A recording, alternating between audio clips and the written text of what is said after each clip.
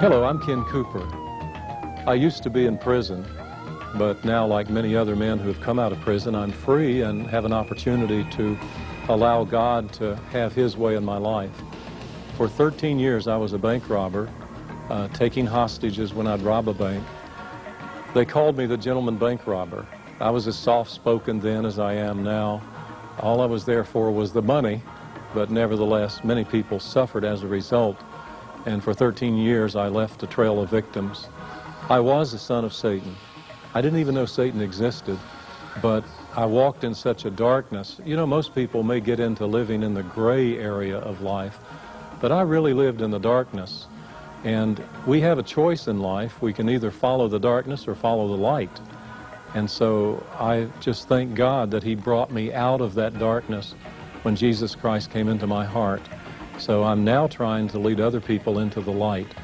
And this is a great opportunity that we have. God has given me a second chance, an opportunity to do something good now. So I've been able to work with men as they're coming out of prison with my wife, June. We've sponsored almost a thousand now in 10 years.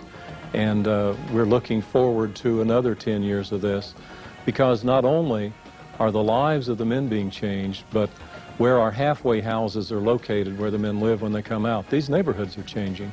So it's been a glorious experience, and I just am really grateful to God for that. The ministry started in the heart of June and myself, and the very first time we met, uh, we both share the same vision. We say that the ministry is based on two things. One is on prayer, the second is on hard work. And the word is out that if you want to come to us, you better be a hard worker. The ministry starts in prison with prayer and a man's commitment to change his life through Christ. Careful selection is made based upon an individual's willingness to serve the Lord.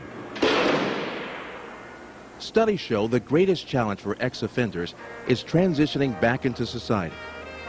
Upon release from prison, most men arrive at the bus station with nowhere to go, no money, no friends, and no job.